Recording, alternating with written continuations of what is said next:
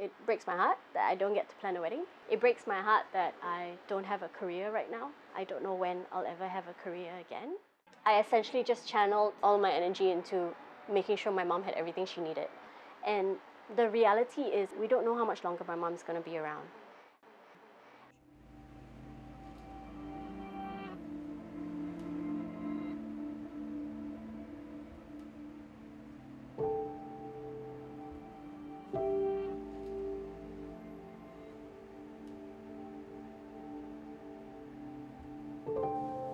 Help her clean herself, soap, get the toothbrush. Literally, part of my daily routine was when she passes motion, I take a peek because I need to know whether or not there is blood in her stool. For some reason, I'm not disgusted by it. I don't even know why. I think because I look at it from a project management perspective, which is what I used to do. When my mom started getting sick and I said, Oh, I've stopped working because I'm going to be my mom's primary caregiver, I always get the question, Why don't you just get a maid? I don't see how I am expected to just hand it over to the hands of someone she does not know personally in such a private and almost to a certain extent invasive manner on a daily basis. I wonder. Tissue. I want to cut my hair. Yeah, okay. We'll cut your hair next week, okay? Ah, Ah, yesterday I didn't take the. sweet. Okay, tomorrow, uh, later, okay? After your blood test, you can take the sweet. Alright? Boleh tak? You take your medicine first, and then after that you can makan and top up your water, alright? Loneliness. It's the hardest part. The problem of being a caregiver is that you really struggle to find time for yourself. You start to lose your sense of self identity. So you can be in a room full of people, but you still feel very lonely.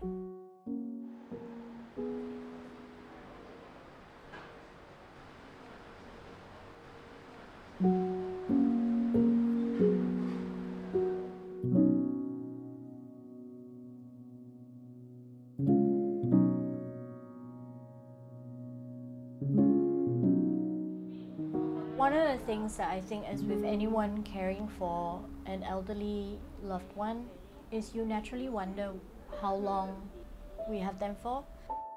The reality is you never know. And that's why my current motto is literally one day at a time.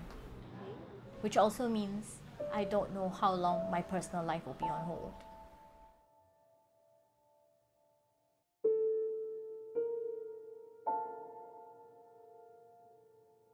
Would want to plan my own wedding, but that's just not something I have the space for in my life right now. I have friends who are already married now, who have already gotten their first child, who have already bought their first home. I'm going to be 40 in two years' time, and I don't have any of that. We're not gonna kill ourselves trying to plan the wedding if we don't have the right mental headspace for it. Right now, the engagement ring is a promise that we will get married and we'll just see when we can get married.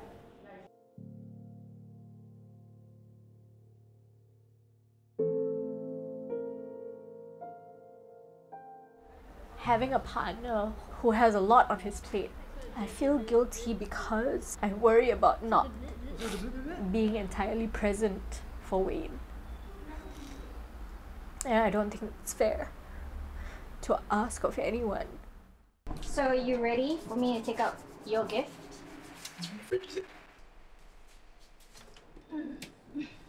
Whoa.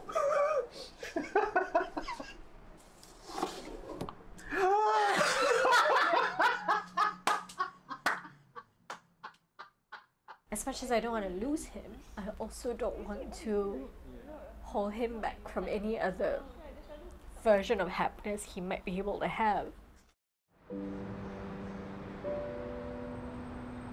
Every four to six weeks, we are at some sort of uh, doctor's appointment.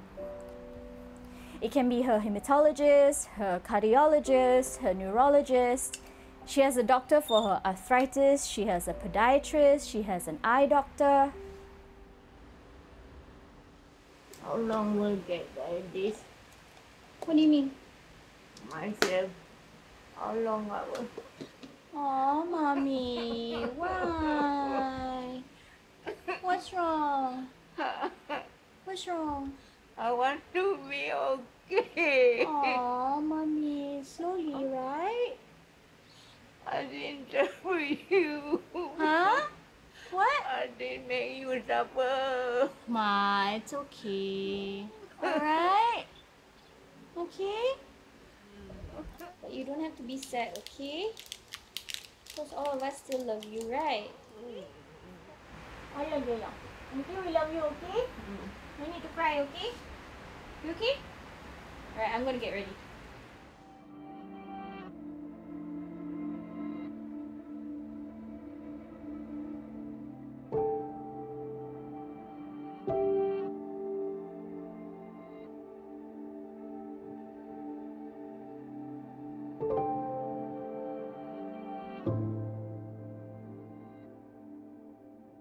Are you today?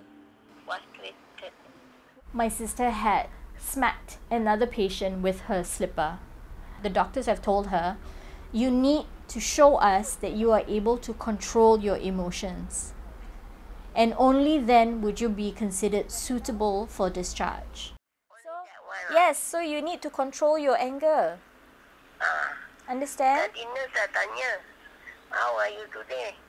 Do you feel anything like want to beat people or what? No, I want to scream, shout, and cry. Uh, Cry is okay.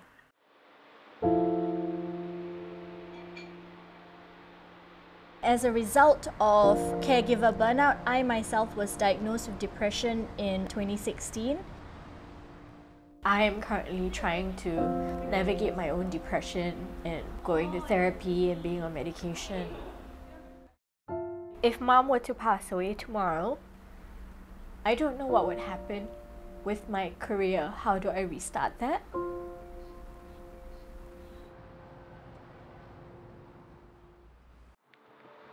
See? That.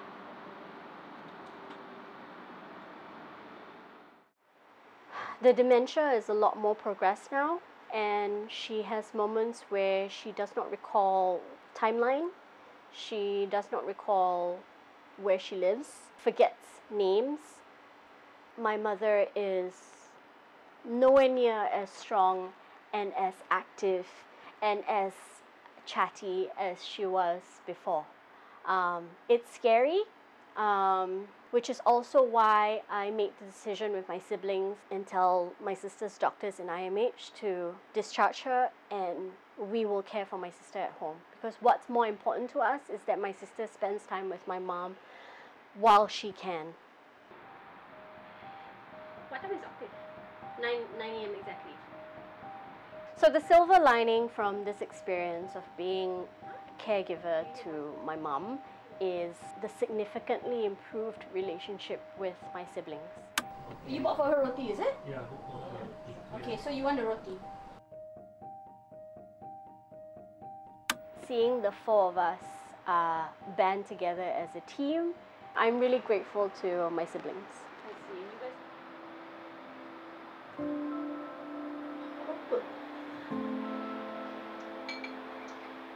We started to have uh, friends and um, family that would reach out and check in on us. Even strangers kind of like send me direct messages and telling me, hey, you know, I actually am going through this.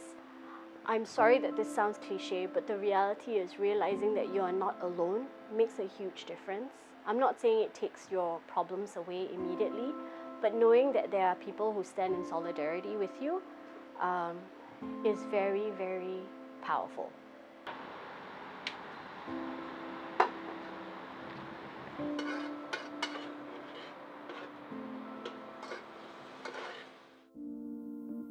So I know Wayne and I will be together, but I don't know when we're getting married, even till now. So, thinking back on my mental health condition, you know, the first two years of taking care of my mom and when we were filming that documentary, I would say on a scale of 1 to 10, I was hovering at a 4. You start to lose your sense of self identity.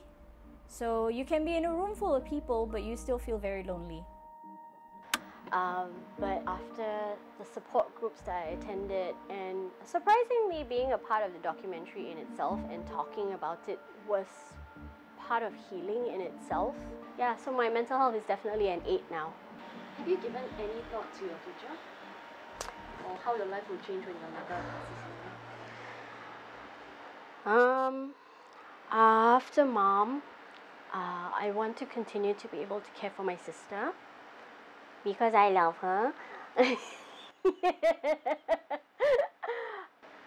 and because I am battling depression and my sister has had a lifetime of, you know, navigating her mental health or uh, condition in Singapore. I would like to be able to go into mental health space um, or healthcare sector. Yeah, and I hope that if anybody else out there is watching this and you're caring for a loved one and you're too scared or you don't know where to start, always remember that um, you can ask for help. I know that it can be scary, but there is help available and there are resources. And if you need somebody to help you navigate those resources, there are support groups available for that as well. So please do reach out. Pero din nila na ako pinalabas. Doon din ako na-training. Minsan inutusan ako magpugot ng ulo. Di ko din gagawin. Ako papatay nila. Di ko nga alam. Nung magkaway ako sa amin, di ko nga alam magka, magpag-aaral pa ako.